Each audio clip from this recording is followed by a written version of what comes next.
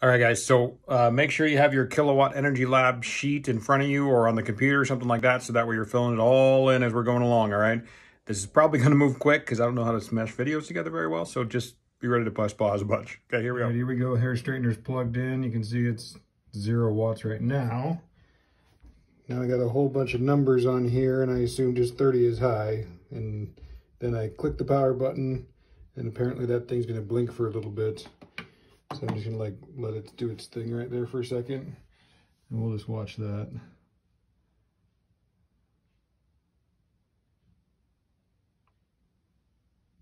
It's dropping a lot. I expected it to hold some sort of power.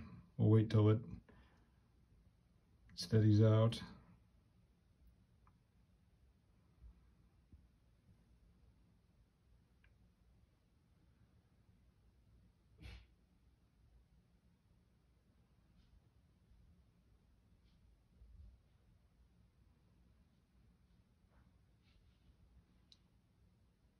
So now the light's solid on the hair dryer, or excuse me, the hair straightener. So I think that means it's got the right temperature. So let's let's do, I don't know, what are we averaging? 68, 63. Let's just go like, let's do like 65. That way that's kind of the average of what I'm seeing right now. So 65 for the hair straightener. All right, now we're gonna do the lamp. You can see it's plugged in. This is the lamp with the LED light. All right, so you can see that it's sitting at zero right now. I'm gonna reach up and turn it on now.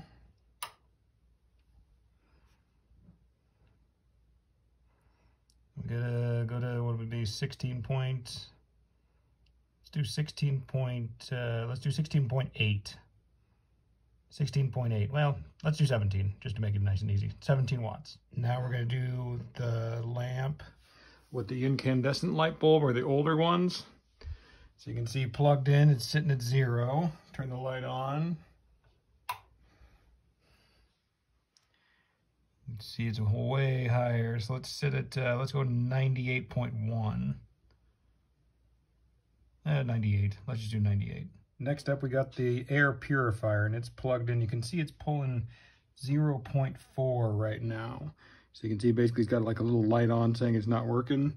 That's why it's pulling the 0.4. So I will turn it on. And I'm actually going to put it on high. Doesn't it just sound wonderful?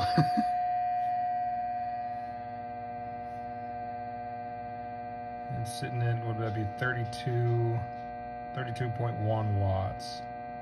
All right, here we go. We're going with the TV unplugged, or excuse me, just the TV plugged in but not turned on. This is the 55 inch one. We can basically we're at like 18 watts. So I'm gonna go ahead, I'll turn that bad boy on. So you can see it's turned on now. Now it's pulling, where we at? Let's go, know, 69.7. Let's stick with that. 69.7. All right, so next up, we got our 38 inch TV. It's in my playroom. You can see my son's toys right there. He doesn't clean up after himself very well. so plugged in with it turned off, you can see it's sitting at zero. I'll go ahead and turn this thing on. You can see it's starting to turn on right now. Starting to go through its boot up. So now we're, what are we at, like 30, let's do 34, well, 30, 34.8. That would seem pretty consistent. Let's stick with that. 34.8. Next we're going with the MacBook charger. So that's plugged in. See here it comes down. Here's my wife's computer. That's me with my son he was just born. Plugging it in there. See it starts to charge. So the pull starts going.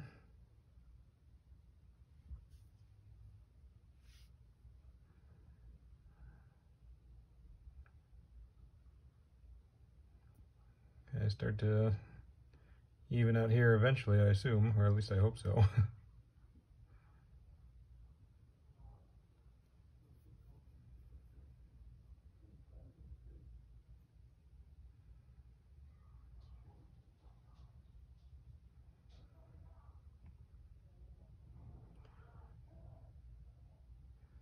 Let's just stick with uh, like 49. Let's go with 49.5 watts or something like that. Next up, toaster oven. You can see it's plugged in. We're at zero.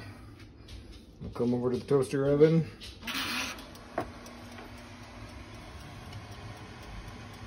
pulling ton of watts there. So let's go, let's go 11, let's go 1103 for this.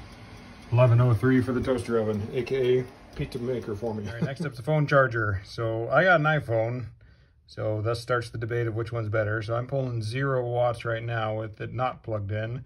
Plugging my phone in right now. Now I'm pulling, what am I looking at? 10,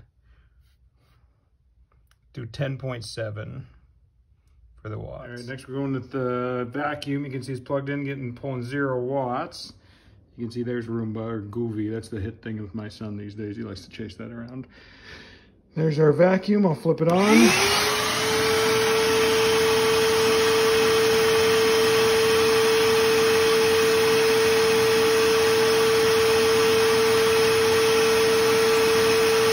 with a thousand eight. All right, now we're doing the iron. So you can see it's pulling 0.7 watts. And like it's kind of on. You can see it's got the light on, but I've got it at the, like the lowest position there. So I'll turn it up to the highest position and now it's pulling a ton. Let's go, yeah, just 1,094. Let's do 1,097. Oh, now we got the hair, or the, excuse me, not the hair straightener, the, uh, whatever this thing's called, the steamer which you use on clothes sometimes, but I'm a guy, so I don't use it on clothes because I have no idea how to use it. So here we go. Turn that bad boy on. I assume it starts supposed to start steaming or something. There we go. 1,012 watts it's pulling right now. 1,012. All right, we're going for the hair dryer now. You can see it plugged in. Right now we're sitting at zero. Then there's the hair dryer there. There's going to be one. I'm going to do it on cool first and then on hot okay? So for cool, on high,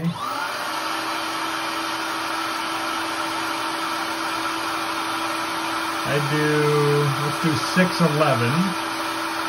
Then I switch it to hot. Let's do 1338. All right, here we are. We got our space heater. You can see it is not turned on, even basically though it's reading temperature, it's not turned on. The watts it's using, uh, I would go 1.5. Well, yeah, let's just go with 1.5. Okay, so I'm gonna turn this on high. You can see it's starting to pull more. I'd go with 13, let's do 1360 1362. Let's do that for high for the space heater. Now I'll flip it to low.